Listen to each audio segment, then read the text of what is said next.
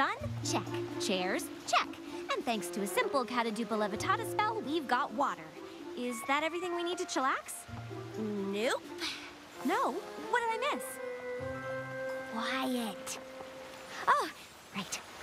Great job, Starlight. Looks like you've completed another friendship lesson.